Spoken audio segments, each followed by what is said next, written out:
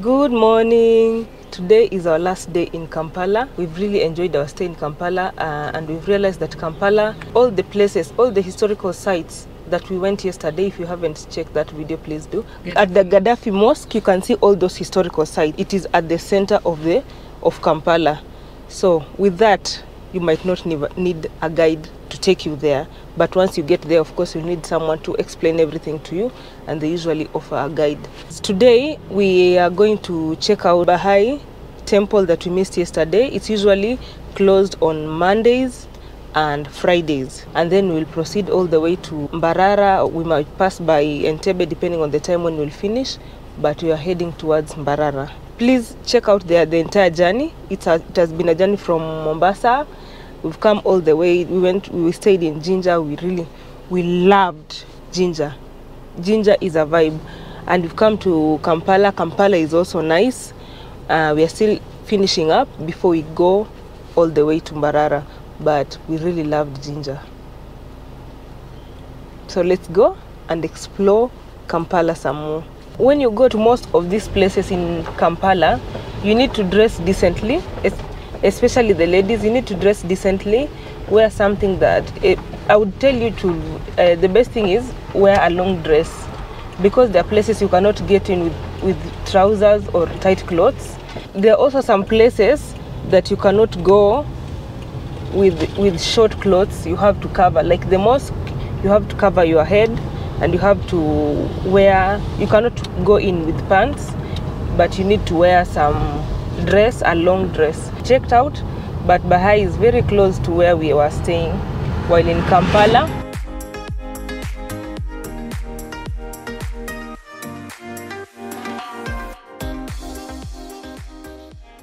we are just from bahai temple so we are not allowed to film inside but we took a few videos on the outside. Uh, Baha'i is a religion. I never knew about it until today. It's a religion that unifies almost all religions. There is Muslim, is Islam, there is Christianity, there is Buddhism, um, there is science. They also allow science because they allow people to freely, independently search for truth. The difference between this temple and many other temples is that this one has nine doors representing the nine messengers of God. It's all about peace, unity, and finding the truth. And I think I'm going to Google some more about it because it's something ve uh, very new to me. But this religion brings pe- all people together. I'm a Christian, and anything that unifies people, I'm all about it. So this is very interesting. And it's a place where you can just get in, read the holy books, or you can just read. When you're getting in, as you've seen in the rules, you must dress modestly. It's free of charge. The architecture is quite unique.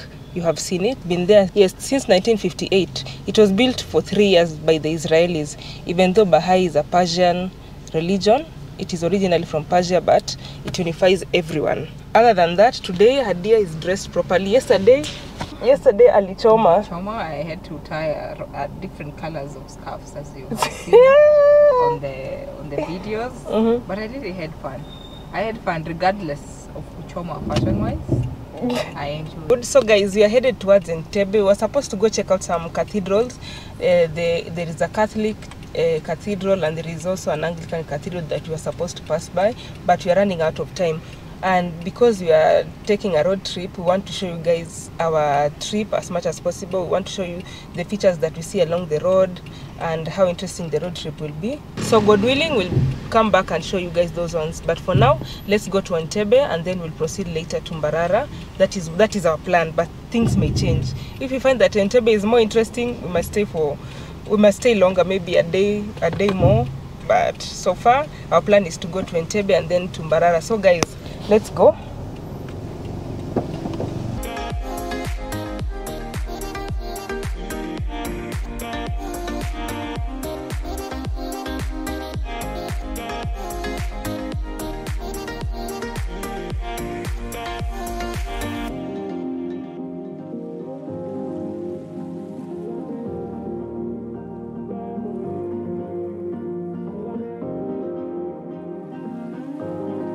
On our way to Entebbe, we decided to use the Google Map to find the easiest route.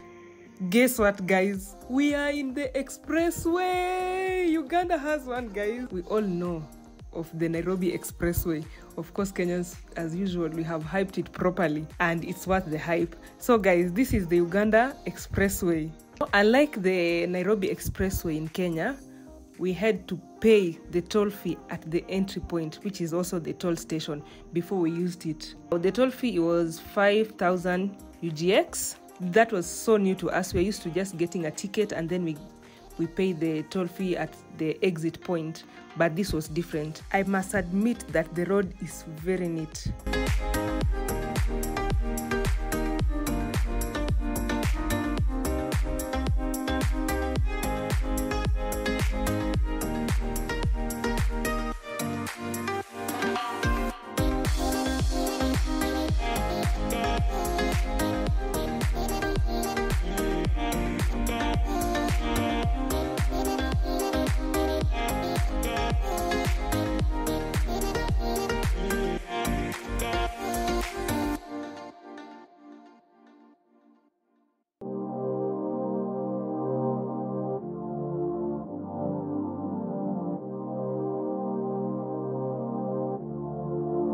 The nature of the real estate on our way to Entebbe suggests that the city is inhabited by middle and high income earners because most of these houses are modern mansionettes. They are less congested and very organized as compared to Kampala.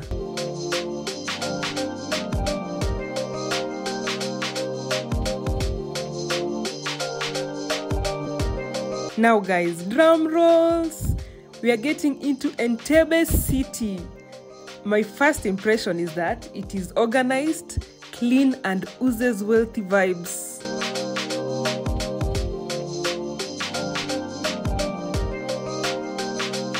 I believe that there are some residents of the city who live here and work in Kampala because with the expressway it is very possible to commute daily, especially if you own a car.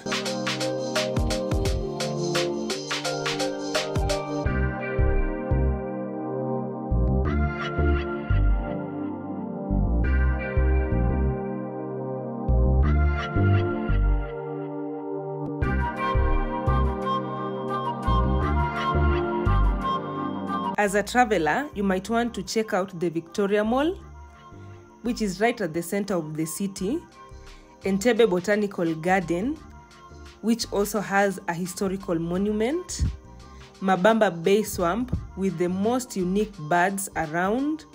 They have the equator, the Entebbe Zoo, and so many islands in Lake Victoria. Very beautiful with very unique wildlife.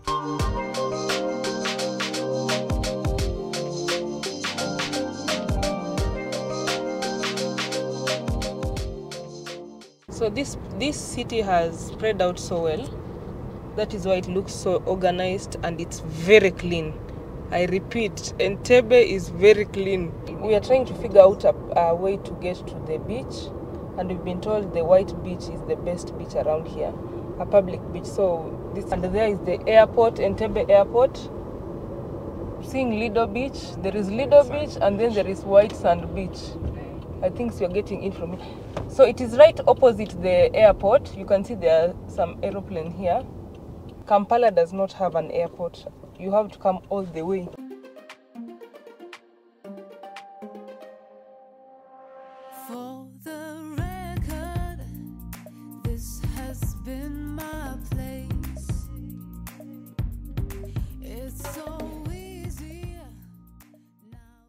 The entrance to this place is 10,000 or you have to buy a drink or food for you to get in. That money, I think it is it is just a small fee for maintaining this beach. Now, my Kenyan brothers, why isn't our our beaches in Lake Victoria this big? Look at that bird. Oh my god. Adia, are you scared? Okay. It's a marabou. Marabou stork. Just walking in the park. Guys, there's that pier over there. If you want to take a nice photo, you can take there. And then some activity there. They're cycling into the water. That is so cool.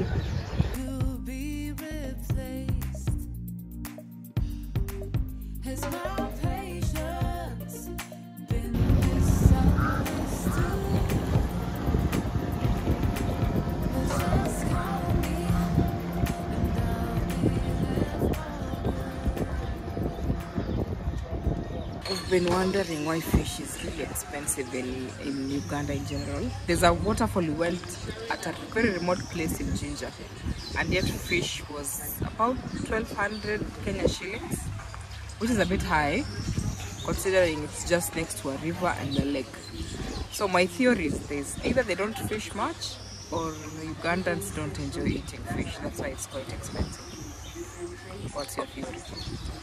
Or in Kenya, we eat a lot of Chinese fish. Fish a lot. We fish a lot, but we also import a lot of fish. hmm Even here, it, it was around 50,000 Ugandan shillings. That is very expensive compared. Very. Yeah, that is pretty expensive.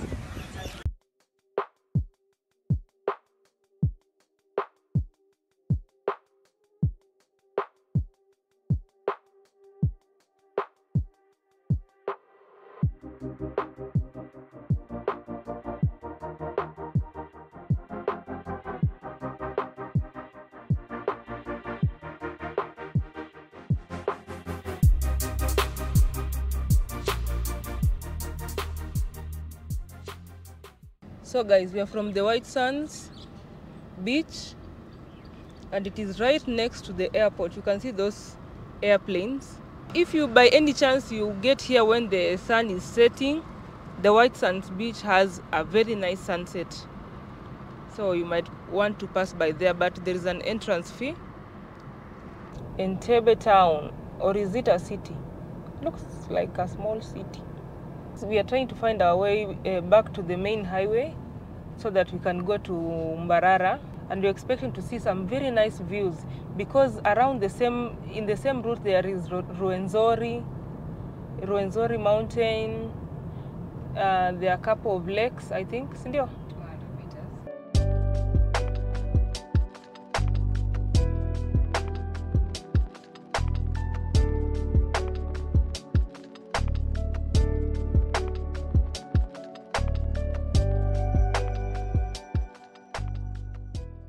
So guys, on my right, this is a research institute. It's a virus research institute. Look at Lake Victoria. Oh, it's showing off. There are multiple places you can be able to see, to have a good view of Lake Victoria just along the road. Here goes the lake again. We've realized that, uh, okay, based on what we've seen in Entebbe and in Mwanza, we have concluded that the Kenyan side of Lake Victoria is the only side that has not been properly uh, conserved. Because these other sides woo, because these other sides you'll see like like the places are very clean. It looks like someone cleans them every day or something. So guys our google map brought us to this ferry here and the, there's a lot of certainty with the ferry. The next trip will be at 5.30 and that ferry can only take nine cars when we got there there were a couple of lorries ahead of us so we are not sure whether we would get a spot on the on the ferry. After the 5.30 trip the next trip would be at 8.30 now imagine just staying there waiting for the ferry until that late and then you miss a spot. It won't make sense so we've decided to reroute and go back using the the expressway. It will take us some time. It's actually like almost 80 kilometers going backwards, but it is a route that we are sure of. So we are going back. When you come to Entebbe, just know that unless you are very punctual and you, you have enough time, is when you can use the ferry. Otherwise, it might waste your time. So I've bought some jackfruit. It is- This one is like 500 Ugandan shillings, and I'm the only one who eats jackfruit in this car. So everyone else is like, finish eating faster because we cannot stand the smell of the jackfruit. Ooh, nice. Mm. I love jackfruit. Ooh, I can eat it the entire day. It is still in Entebbe, so you can see where people live. It is a very clean place. You, even you can see the streets. Look at this. Very clean.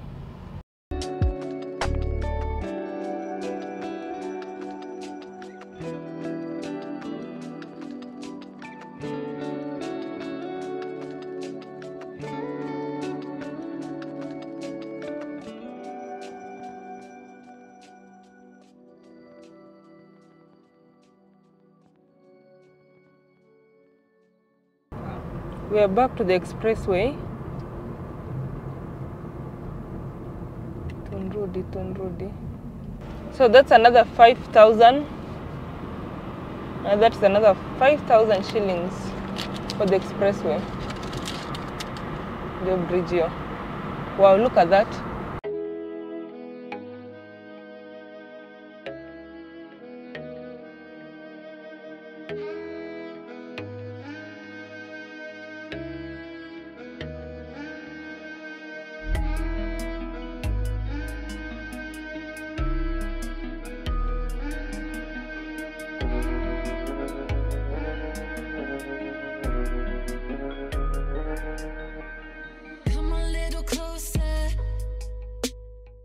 Is the expressway. You see? While driving around these Ugandan roads, especially anywhere near Kampala, be careful with the motorcycles. There are so many, and I don't think most of them know the traffic rules, or they know but they just ignore. There are too many, they're too rowdy on the road it's difficult to manage them. Kyengera. Straight for 114 kilometers. So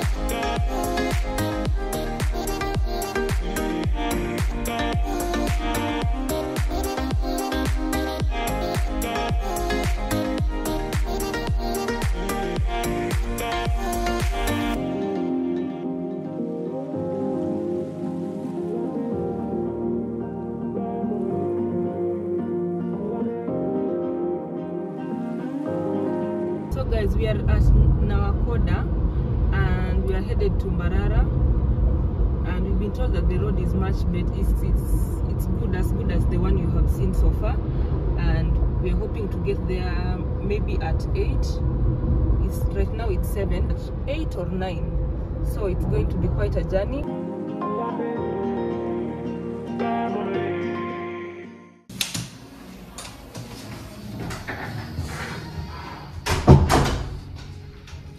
So guys,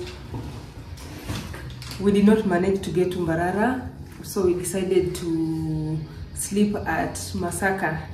Apparently it is also a city and we just looked for an accommodation in booking.com and, and we found this hotel. It's called LC Hotel and uh, we booked like uh, two singles and one, not single, one single and one double at around 8,000 Kenyan shillings total. That one is above, way above our budget, but we got here a bit late and we needed to be comfortable because we still have a long journey tomorrow, maybe 100 kilometers. That one could be an hour, an hour or an hour and a half, depending on the traffic. We realized there's a lot of traffic in Uganda. Guess what? That 8,000 shillings that you're paying for is inclusive of breakfast and sauna. Hey, I'm telling you, I know in this entire trip we're not going to get another opportunity to, to go to the sauna. So we're not letting this one pass. We have to go to the sauna. Anyways, guys, we decided to sleep at Masaka because Uh, we got advice last time when we drove all the way from Kigali to Arusha for 20, for 24 hours. We got advice from you guys. You know, we usually listen. Got advice from you guys that it's not safe to drive like that at night, especially if it is a place you don't know, because just in case of any accident, maybe a, a, car a tire burst or maybe a technical issue, we cannot stand next to the road somewhere in a strange like in a strange place like in a place we've never been to before because we don't know if it is a safe place or not. So we took that advice and we decided to sleep at masaka just to be safe because if we could have driven all the way maybe we could get there at midnight. There is it is quite some jam along the along the road and plenty of roadblocks. So here we are we bought some rolex along the road guys by the way. Tip if you want the best rolex go to the place where it is being cooked. Just order yours let it be cooked while you're looking at it there and then you carry it when it's still very hot. If you get the ones that have already been made or it was maybe the chapati was made in the morning and then they just add the eggs it won't be as fresh as what we got. So today we got very very fresh rolex i've carried mine I've, i ate like half of it. I've carried another one. Half of half, uh, the other half not not a full one. I've carried the other half and i'm going to take some tea and then i'll go to the sauna. Sauna. On a budget trip. Oh my god. That is a thorough treat. By the time we leave here in the morning the bed will be in a very bad shape. So this is how the room looks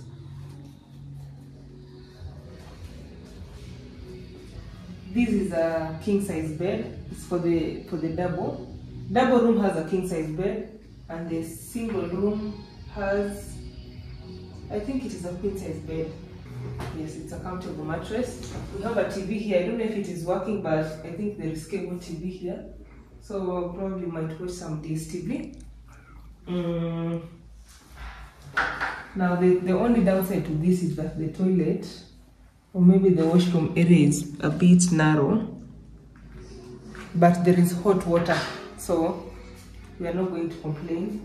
Yeah and there is also a balcony. So we are going to all of us are going to sit here and have our dinner and discuss before we go to the sauna and then anyway let me show you the balcony. I'll show you the balcony in the morning. So guys stay tuned and let's catch up in the morning. We're getting into the sauna and then there is the steam from there.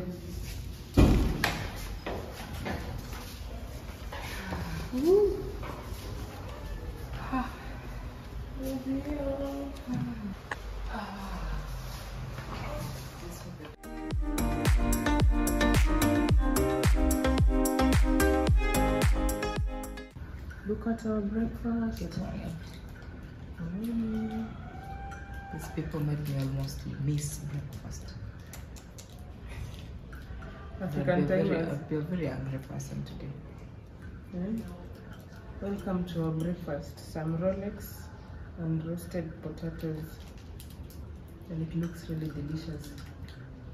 Adi almost missed breakfast. This breakfast because some people love the rain. I mean, it started raining in the morning when I was just about to wake up. I just, I just said 10 more minutes won't kill. I know it's turned into an hour. It went one hour. It's now 10. Praise the Lord. This is the earliest we ever left the apartment.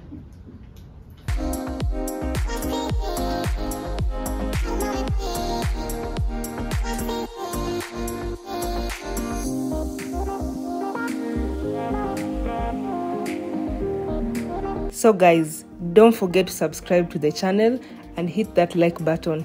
You can also comment below on what you think of the video. So let's continue with this adventure in our next episode where we'll be going to the western side of Uganda, which is considered the most beautiful part of the Pearl of Africa.